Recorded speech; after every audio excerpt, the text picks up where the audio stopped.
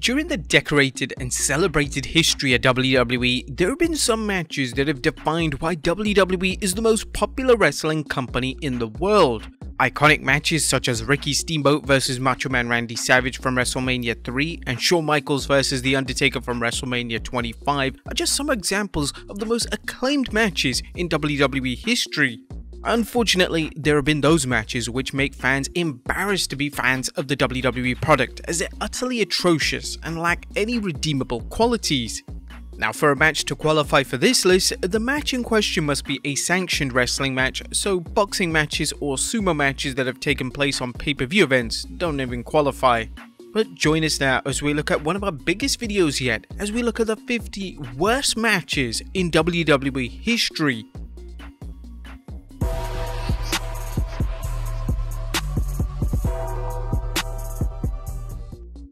Be sure to subscribe and hit that notification bell for daily wrestling videos and follow us on Facebook for exclusive lists. Also check out our new channel, Wrestlelamia Shorts. Number 50, Damian Priest vs The Miz at WrestleMania Backlash 2021. Damian Priest and The Miz are two great wrestlers in their own right, but when they collided in a zombie lumberjack match at the 2021 WrestleMania Backlash event, it was a total flop. The reason for the involvement of the zombies in the match was because WWE was cross-promoting a new movie titled Army of the Dead, but they did little to promote the movie in a positive manner. The match was comical at best, and it featured The Miz and John Morrison being eaten alive by zombies in one of the most unusual visuals ever seen on WWE pay-per-view. Luckily for WWE, the match took place in the Thunderdome in front of zero fans.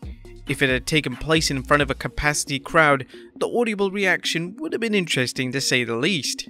Number 49, Jake the Snake Roberts vs Andre the Giant WrestleMania 5.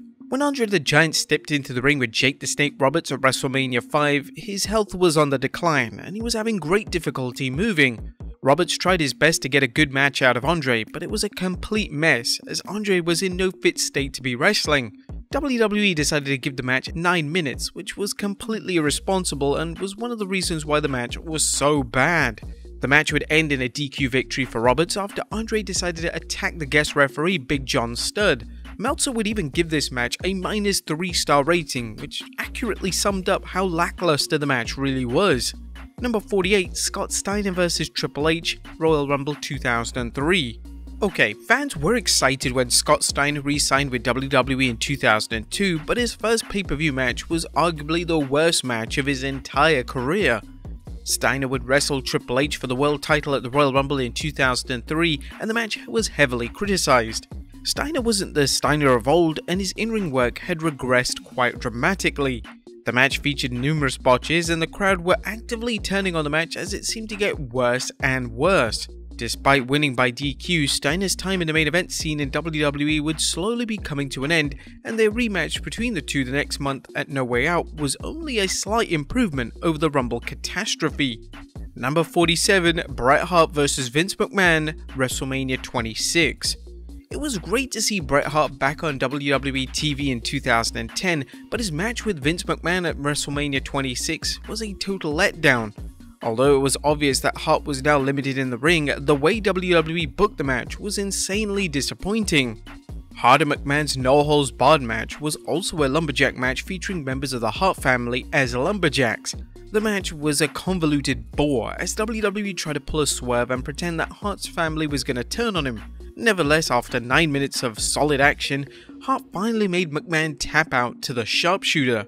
Number 46, Brock Lesnar vs Goldberg, WrestleMania 20. Now, there was a ton of hype heading into Brock Lesnar vs Goldberg at WrestleMania 20. However, when it leaked online that both men were leaving WWE following Mania, the Madison Square Garden fans immediately turned on both men. The crowd would heckle both men throughout the match, and this made both former world champions lose focus. The match featured excessive stalling, and let's face it, the crowd were mainly interested in the antics of guest referee Stone Cold Steve Austin. Ultimately, Goldberg would get the win in one of the most lifeless matches of the Ruthless Aggression era. Number 45, Royal Rumble 2015. How could you make a Royal Rumble seem so bad? Now, WWE's idea was to present Roman Reigns as the next big thing, but due to terrible booking decisions in the match, the crowd completely turned on him. They booked the match so fan favourites such as Daniel Bryan and Dean Ambrose looked disposable, and Kane and Big Show were presented as top stars in the match, despite them being stars of yesteryear. Even The Rock appearing at the end of the match wasn't enough to save it from being the worst received Royal Rumble of all time. Number 44, Finlay and Hornswoggle vs Boogeyman and Little Boogeyman at No Way Out 2007. No Way Out 2007 featured a tag match pitting Finlay and Hornswoggle against the sinister duo of the Boogeyman and his smaller self known as Little Boogeyman. The match was 6 minutes in length and didn't remotely warrant a place on the pay-per-view. The comedy on display wasn't popular with fans and the finish came when Finlay used the dreaded shillelagh on Little Boogeyman to take home the W in a match that nobody really asked for. Number 43, Randy Orton vs Jinder Mahal Battleground 2017. It's well documented just how disliked Jinder Mahal's WWE title reign was in 2017. Mahal went from jobber to main eventer, and Mahal didn't have the credentials or the skills to thrive in this illustrious role. Mahal had some lackluster matches as champion, and his Punjabi prison match with Randy Orton at the Battleground pay-per-view was arguably his very worst. The two would wrestle a generic match for what seemed like an eternity, and the bamboo cage did little to generate excitement. The finish of the match came when, surprise surprise, the Great Khali randomly returned, which in turn allowed Mahal to escape the structure and retain his title. Number 42, Ivory vs. the Fabulous Moolah, No Mercy 1999. In 1999, WWE decided to make the Fabulous Moolah an active wrestler, noting she was pushing into her late 70s at the time. Moolah would appear in a number of storylines throughout 1999 and she was even joined by Mae Young. The issue was that Moolah's matches were a laughing stock, and they were so bad that Jerry Lawler on commentary would notoriously cry with laughter. But one of the worst took place at the 99 No Mercy pay-per-view as Moolah challenged Ivory for the women's title. Although the match was only 3 minutes, it was a truly painful 3 minutes to watch, as an elderly Moolah could barely perform her spots, and the crazy thing was that WWE decided to give Moolah the victory and the women's title as she would roll up Ivory for the victory. What were WWE even thinking? Number 41, Team Ivory vs Team Moolah, Survivor Series 1999. Speaking of the fabulous Moolah's 1999 run, it didn't stop there as a pay-per-view match at the Survivor Series was even worse than a No Mercy disaster. Moolah would team with Mae Young, Deborah and Tori to take on the team of Ivory, Jacqueline, Luna and Terri Runnels. WWE evidently had no faith in the women in the match as it lasted under 2 minutes in length. The in-ring action on display wasn't pleasant and it greatly exposed WWE's women's division. The finish came when Moolah performed a terrible looking splash on Ivory to once again pin one of the WWE's most credible and talented female performers. Number 40, The Miz vs Snoop Dogg WrestleMania 39. One of the impromptu matches of WrestleMania 39 saw The Miz take on Shane McMahon, Sadly, McMahon tore his quad within seconds of returning, and this forced WWE to improvise and deliver a match between Miz and WrestleMania host Snoop Dogg. The Dogfather would punch The Miz twice before delivering a dreadful looking people's elbow to The Miz.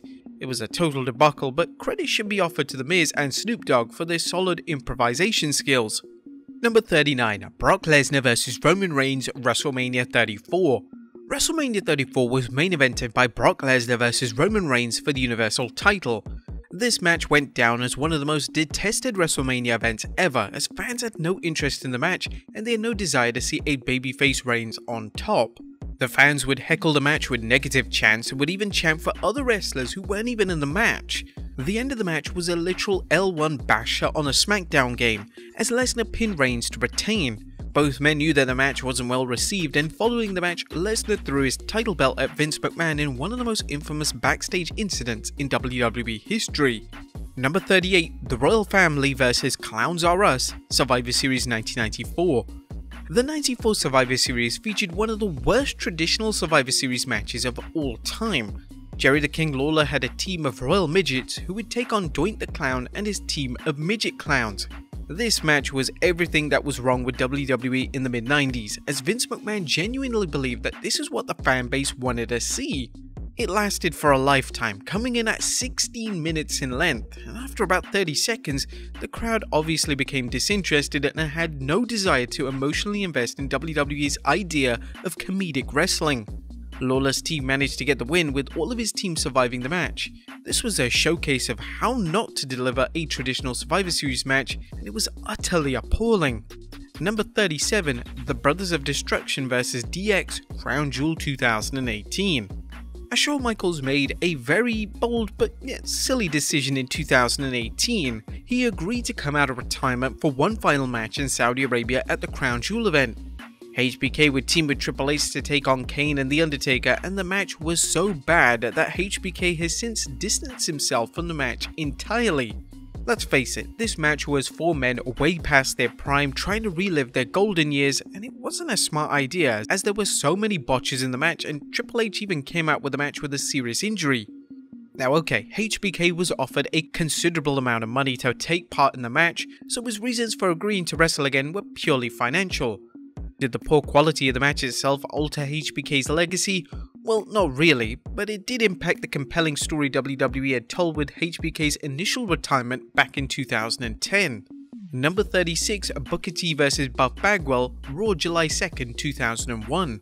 When WWE purchased WCW in 2001, initial plans were to see WWE bring back WCW as its own entity.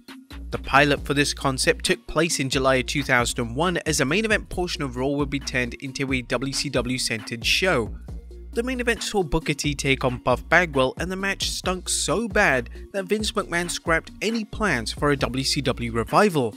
The fans in attendance just wanted to see WWE stars. The fans hadn't paid money to see WCW, so it was a short-sighted move on the part of McMahon. In relation to Buff Bagwell, this match shattered his reputation and he would be released from WWE shortly after. However, for Booker T, he worked his way up to the top of WWE and is considered one of the greatest performers of all time. The Hall of Famer would discuss the impact of the match during an appearance on the Not Sam podcast, and this is what he had to say. I knew that was a bad night when it was over. I knew it wasn't our greatest moment. We got pulled into the office immediately and we told it wasn't our best night. I said, put me in the ring with anybody, the smell will go away real quick.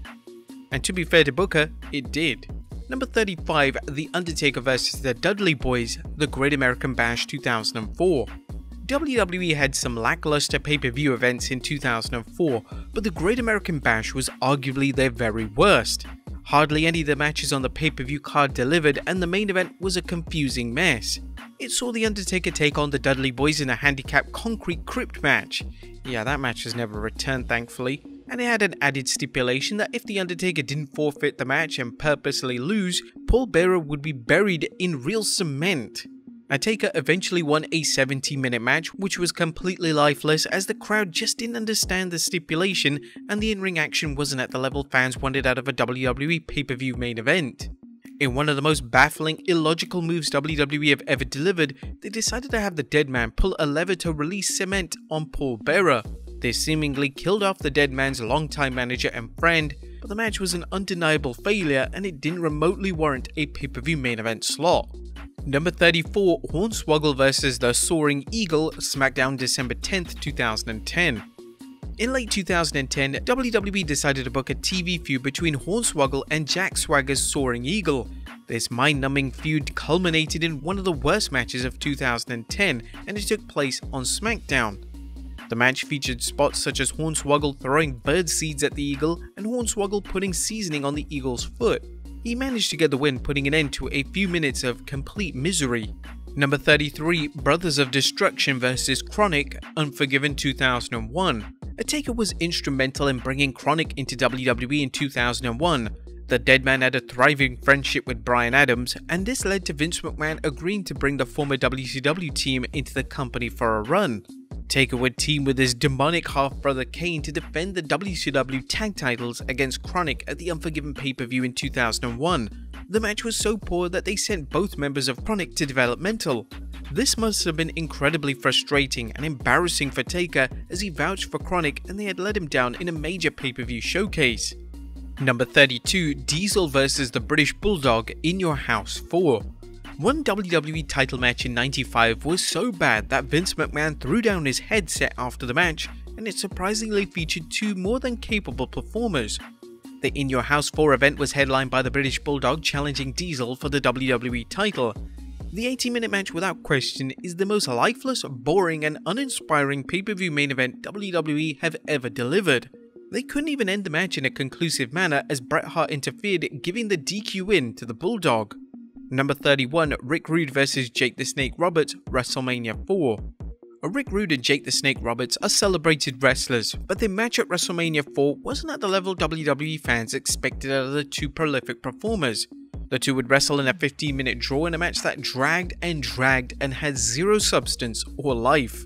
Jake Roberts would later discuss how poor the match was on his podcast, and this is what he had to say. I blew up watching it. It sucked. WrestleMania 4 had the worst booking ever. That's the problem. Meltzer of the Wrestling Observer Radio would award the match a minus 2 star rating, making it, according to Meltzer, one of the most disastrous matches in all of WWE. Number 30 Brock Lesnar vs Braun Strowman Crown Jewel 2018. The original plans for Crown Jewel 2018 were to see Roman Reigns defend the Universal title against Brock Lesnar and Braun Strowman, but when Reigns was forced to relinquish his Universal title, the match became a standard 1v1. Instead of giving fans a world title worthy pay per view match, they decided to book the match as if it was a Raw segment. The match began with Baron Corbin attacking Strowman with the Universal title belt, and then Lesnar hitting several F5s to win the vacant title. This was utter laziness on the part of WWE, and the social media reaction to this match was incredibly negative, but ultimately completely justified. Number 29, The Great Khali vs Kane, WrestleMania 23. The Great Khali has never been known for being a top tier in ring worker, and his match at WrestleMania 23 was a testament to this. Khali would collide with Kane in the single worst match on the acclaimed WrestleMania card. The two former world champions had zero chemistry whatsoever, and the match would barely be passable as a match on even SmackDown. Khali managed to get the win, which completely deflated the crowd as they had no interest in seeing Khali come out with a W, especially on the grand stage of WrestleMania. Number 28, Vince McMahon vs. Pat McAfee, WrestleMania 38. Once Pat McAfee had defeated Austin Theory at WrestleMania 38, Vince McMahon shockingly challenged McAfee to an impromptu matchup. This was a sight to behold, and it would become McMahon's final match. Despite defeating Theory moments earlier, McAfee wasn't able to overcome McMahon as McMahon kicked a football in McAfee's face, giving him a WrestleMania victory. This was really confusing as a viewer, as it was evident from watching it that McMahon had no business having a match on a WrestleMania card at this stage of his career. Number 27, The Undertaker vs Big Boss Man, WrestleMania 15.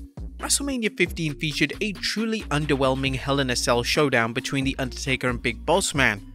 The match was met with utter silence from the crowd as both men were in theory heels, so they had no idea who they were supposed to be rooting for. After Taker pinned Big Boss Man after a strenuous, boring matchup, the dead man alongside the Brood proceeded to place a noose around Boss Man's neck and raise him along with a Hell in a Cell structure. This seemingly had killed off the Boss Man in a live execution on the biggest pay-per-view event of the year.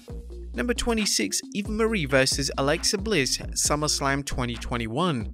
Now, Eva Marie had a rotten reputation as an in-ring talent, and her second run in WWE was arguably even worse than her initial run. She would be given a push in the summer of 2021, and this culminated in the match at SummerSlam with the talented Alexa Bliss. The match featured Marie going through the motions whilst Bliss was doing her best to try and get a decent match out of her. It was only 4 minutes in length, which was about 3 minutes too long, as Marie looked completely lost in the match. By the summer of 2021, WWE had gotten to a point in their history where matches such as Marie vs Bliss didn't need to take place. Number 25, Brock Lesnar vs Kofi Kingston, SmackDown October 4th, 2019. Kofi Kingston capturing the WWE title at WrestleMania 35 was a very special moment. However, when they announced that Kingston would be defending the title against Brock Lesnar on SmackDown's 20th anniversary show, everyone was expecting Kingston to lose but we thought that Kingston would put up a fight, but nobody expected Kingston to be squashed in just 8 seconds. It was a complete disservice to Kingston and his fanbase, and the fact that WWE didn't believe Kingston deserved to be dethroned in a full-length match was insanely disappointing. Number 24, Brock Lesnar vs Cain Velasquez, Crown Jewel 2019. One of the reasons why Brock Lesnar squashed Kofi Kingston so convincingly on the 20th anniversary edition of SmackDown was so the match between Lesnar and Velasquez was unbelievably poor, and it lasted over a minute and it finished when Lesnar made his rival tap out. They completely misjudged how Velasquez would be received, and the match itself was one of the most lackluster WWE title matches of all time. Number 23, The Oddities vs. Kaientai SummerSlam 1998. SummerSlam 98 featured some stellar matches as Triple H vs The Rock in a ladder match and The Undertaker vs Stone Cold Steve Austin for the WWE title. The pay-per-view also featured one of the most ridiculous matches to ever take place in the sacred grounds of Madison Square Garden. The Oddities would take on Kaientai in a handicap match, and the wrestling on offer was unbearably bad. Most of the wrestling on display was comedic, and one of the most infamous spots in the match saw the Oddities retrieve Yamaguchi-san's stinky trainer. The Oddities eventually got the win in a 10 minute encounter, but the match should have been relegated to Sunday Night Heat. Number 22, The Undertaker vs. Giant Gonzalez. Throughout his iconic WWE career, Taker was given the tough task of getting a number of talents over that didn't have any in-ring skills, and one of these was Giant Gonzalez. The Deadman and Gonzalez would collide at WrestleMania 9 in easily the worst match of Undertaker's beloved WrestleMania streak. Gonzalez couldn't do anything in the ring, so Taker had to attempt to make the match work against a virtually immobile opponent. WWE were insistent on getting the truly awful wrestler over and they wouldn't even allow Taker to get the pinfall victory. Instead, he got a DQ win. Taker would reflect on working with Gonzalez during an interview on the Not Sam podcast, and this is what he had to say. Oh my, that was the worst. Hideous. That whole thing took years off my career.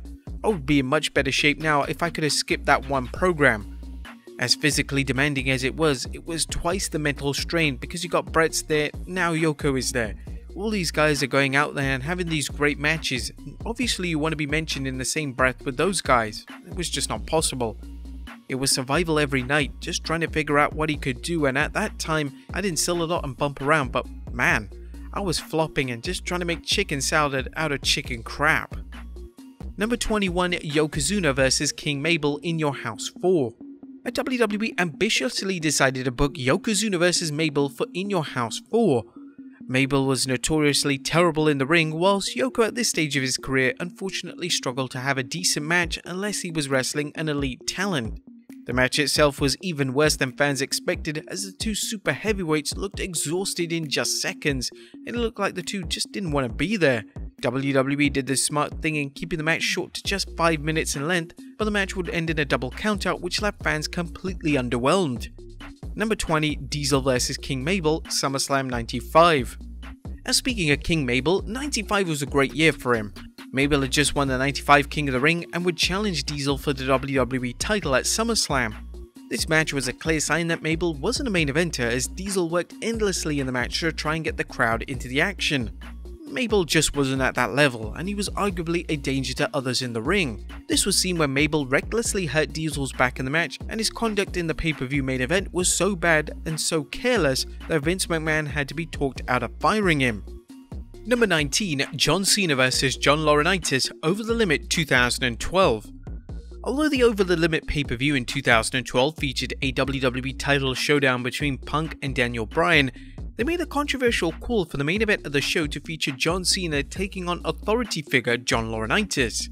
The match featured Cena humiliating Laurinaitis for 17 minutes straight, and it didn't make for entertaining viewing, and it was completely wrong that this was picked to be main eventing this show.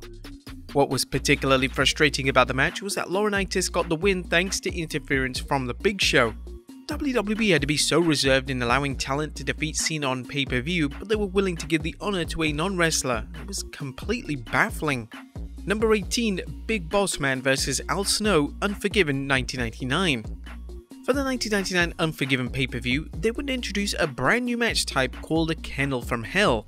This match incorporated a steel cage around by a Hell in a Cell and on the outside of the ring were rabid dogs. The match, which was contested between Big Boss Man and Al Snow, was a total flop, as everything went wrong. The dogs around the ring were absolutely terrified to be out there in front of thousands of fans. They would cry, urinate, defecate, and even mate outside of the ring. Snow holds the distinction of winning the first and only Kennel from Hell match, and it's unlikely that the match will ever return. Number 17, The Bushwhackers vs. The Fabulous Rougeaus WrestleMania 5. WrestleMania 5 featured one of the lowest rated matches in the history of the Wrestling Observer newsletter. The match was between Hall of Famers the Bushwhackers and the Fabulous Rougeaus. The match featured spots which were designed to be comedic but were frustrating to watch, and the lack of selling on display was enough to break the illusion of pro wrestling. The match was horrendous and completely deserves the minus 4 star rating that Dave Meltzer awarded the match. Number 16, Steven Richards vs Tyson Tomko Unforgiven 2004. One of the issues with brand exclusive pay per view events is that WWE don't always have enough talent to stretch out a 3 hour broadcast. This was evident in 2004 when WWE presented the Unforgiven pay per view. During the first portion of the show, Tyson Tomko would wrestle Steven Richards, who just so happened to be in drag. This embarrassment of a match lasted 6 minutes before Tomko got the win, and would be a questionable match for Sunday Night Heat, never mind an event which fans were paying money to witness. Number 15, Rosie O'Donnell vs. Donald Trump, Raw January 8, 2007. In an attempt to cash in on the real life celebrity warfare, WWE decided to book two celebrity impersonators in a match on Raw in 2007. A Donald Trump impersonator would take on Rosie O'Donnell impersonator, and the results weren't great. The crowd heavily booed the horrendous action on display, and whilst this was designed to build towards Trump's involvement at WrestleMania 23, the match was an example of, of what the ruthless aggression audience didn't want to see. Number 14, Jackie Gayda and Chris Nowinski vs Trish Stratus and Bradshaw, Raw July 8, 2002. Many fans would label the tag match featuring Jackie Gayda and Chris Nowinski vs Stratus and Bradshaw as the worst match in Raw history, Whilst this is a subjective stance, it's easy to see why a strong portion of the fanbase hold this opinion. The match was filled with botches and problems and most of them were the fault of Gayda who wasn't ready for a match on Raw and should have been nowhere near a WWE ring at this stage of her career. Once Stratus got the win for her team, Jim Ross on commentary would declare that the match had bowling shoe tendencies, implying that the match was indeed ugly. Number 13 Seth Rollins vs Bray Wyatt Hell in a Cell 2019 the most loathed Hell in a Cell match ever took place in 2019 as Seth Rollins took on Bray Wyatt. The match bizarrely ended in a no contest as the referee declared Rollins' conduct inside the cell as too far, and this negatively impacted the credibility of the Hell in a Cell match type. The booking of the match was so bad that fans audibly turned on Rollins, who was WWE's top babyface at the time. They were even forced to turn Rollins heel. Rollins has spoken at length about how WWE missed the mark with the match, and it's likely that Wyatt feels the very same way. Number 12, Kaitlyn vs Maxine NXT in October 19, 2010. The all-female season of NXT quickly turned into a laughingstock as the quality of the in-ring action was atrocious. Eventually WWE gave up on the season and they had Michael Cole and Josh Matthews on commentary turn on every match by outright mocking the women competing. The match between Kaitlyn and Maxine on October 19, 2010's edition of the show was a terrible look for WWE, as it featured horrible wrestling and even Cole on commentary calling it the worst segment he's ever been a part of. 90% of the booths were botched and Maxine took home the win as Cole and Matthews labeled the match as horrible at ringside. Number 11 Pat Patterson vs Gerald Brisco, King of the Ring 2000. Whilst the duo Pat Patterson and Gerald Brisco were incredibly entertaining during the Attitude Era, nobody was seeking a pay-per-view match between the two. At the 2000 King of the Ring event, the two collided in an evening gown match for the Hardcore title. This match was the last full-length match of both of their respective careers, and it was a terrible way to go out. The two legends wore women's clothing and proceeded to perform dreadful spots for three whole minutes. The only highlight came when Crash Holly hijacked the match and walked out with the hardcore title due to the 24-7 rule being in full effect. Number 10, Lars Sullivan vs. Lucha House Party Super Showdown 2019. During WWE's attempt to make Lars Sullivan the next top heel in the company, they decided to have him face all members of the Lucha House Party at the Super Showdown event in 2019. This match was designed to showcase Sullivan in the best manner, but he wasn't exactly Shawn Michaels in the ring, so the match quickly fell apart. In one of the strangest booking moves in recent memory, they decided to have the villainous Sullivan get the win via DQ. How this was supposed to make Sullivan look legit is anyone's guess. Number 9 Tyson Fury vs Braun Strowman Crown Jewel 2019 the WWE securing Tyson Fury for a match in 2019 was a huge deal, Fury was one of the biggest names in sport and now all eyes were on WWE. He would face Braun Strowman at the Crown Jewel event and the match was heavily panned. Strowman wasn't experienced enough to carry Fury to a decent match, and Fury was insanely sloppy in the ring. The match came to a close when Fury won via countout, which put an end to one of the most disappointing celebrity versus wrestler matches in WWE history. Number 8 Ariel and Kevin Thorn vs Kelly Kelly and Mike Knox, December to Dismember 2006. The WWE's attempted relaunch of ECW in 2006 didn't exactly go to plan, and their ECW exclusive pay-per-view titled December to Dismember was a complete and utter flop. The show itself featured one of the worst received WWE matches of all time as Kelly Kelly teamed with Mike Knox to take on Kevin Thorn and Ariel. The in-ring action between Thorn and Knox was fine, but when Kelly and Ariel collided, it was an utter train wreck. It was truly amateur hour for the ECW brand and the poor quality on offer was even openly mocked by Joey Styles and Taz on commentary. Number 7 Bayley vs Alexa Bliss Extreme Rules 2017 WWE failed to understand how to book Bayley as a babyface on the main roster. This came full circle at the Extreme Rules pay-per-view in 2017. Bayley would wrestle Alexa Bliss in a kendo stick on a pole match, and the match is arguably one of the worst matches of the modern era. The entire match revolved around Bayley's reluctance to use the kendo stick, and it absolutely sucked the life out of the arena. Fans hated the match as it completely killed any credibility Bayley had as a compelling character. Bliss would eventually get the win, but following the match, it was hard for WWE to rebuild Bayley as someone that the fans should even care about. Number 6 Goldust vs The Ultimate Warrior in Your House 7. Vince McMahon hoped that bringing back the Ultimate Warrior in 96 would see fans come back to the WWE product, but it did nothing remotely positive for the company. Warrior's horrible match with Goldust at the In Your House 7 was a great showcase of why Warrior in WWE wasn't working. The match began with Goldust being chased out of the ring by Warrior and Goldust proceeded to stall for several minutes. Warrior then took possession of Goldust's robe and the director's chair, which prompted Goldust to enter the ring to retrieve his items. In a bizarre scene, Goldust would then put on his robe, sit in his chair, and present his hand for Warrior to kiss. Warrior would then burn Goldust's hand with a cigar and clothesline him out of the ring. Goldust then fled the scene and was counted out. This wasn't a match that belonged on pay-per-view, and it was an utter disrespect that WWE believed that fans should have had to pay to witness this abysmal effort. Number 5 Miss WrestleMania Battle Royal WrestleMania 25 on paper, the Miss WrestleMania Battle Royal at WrestleMania 25 was a great idea.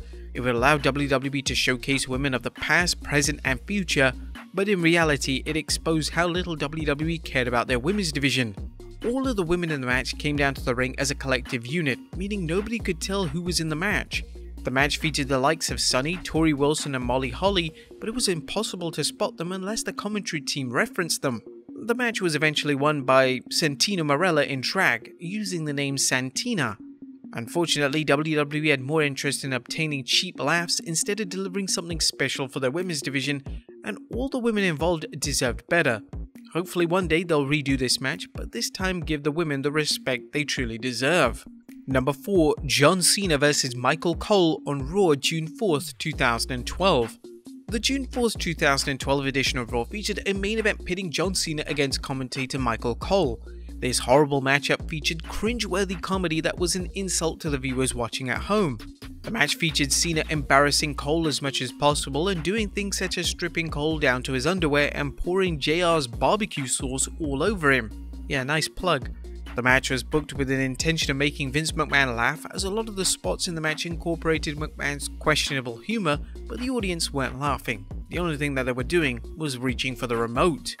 Number 3 Tori vs Sable WrestleMania 15. A Sable was never the best in-ring worker in the world, and a match at WrestleMania 15 was evidence of this. Sable collided with Tori for the women's title in one of the worst matches of the Attitude Era, Sable went through the 5 minutes with a clear reluctance to take any bumps whatsoever and Tori barely had any experience in the ring, so it was a recipe for complete disaster. Michael Cole on commentary would address how Tori had little experience, but this did little to justify where the match was taking place. Sable managed to get the win thanks to the Sable Bomb in what was without question a low point in the history of the women's title. Number 2 Goldberg vs The Undertaker Super Showdown 2019 at one point in time, Goldberg vs The Undertaker was a dream match, but by the time WWE booked the match in 2019, both men had retirement on the horizon. The match took place at the Super Showdown event and it would eventually become one of the most criticized and ridiculed matches in pro wrestling history. The match featured too many botches to count and it even featured the dead man being dropped on his head. It was an utter miracle that both men didn't come out of the match with serious life-threatening injuries. The match was going so poorly that it looked like the dead man called an audible and decided to perform a chokeslam to end the match early. In the months that followed, both men would respond publicly to the negative feedback to the match, and both would address how the match wasn't exactly their finest outing. Yeah, talk about obvious. And number 1, Jerry the King Lawler versus Michael Cole at WrestleMania 27. Heading into WrestleMania 27, fans had low expectations for Jerry the King Lawler versus Michael Cole. Any excitement was coming from the fact that Stone Cold Steve Austin was acting as the guest referee for the match, but even this failed to generate any substantial buzz. The match itself was a total disaster, and it had no place being on a WrestleMania card, and the fact that WWE devoted over 13 minutes to the match was a complete spit in the face to the talent were booked on the show.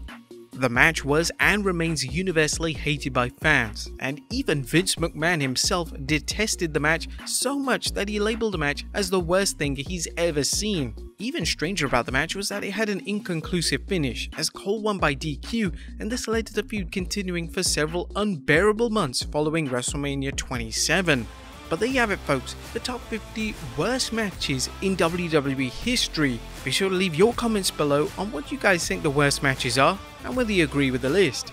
And as always, I'll see you next time with some more wrestling content.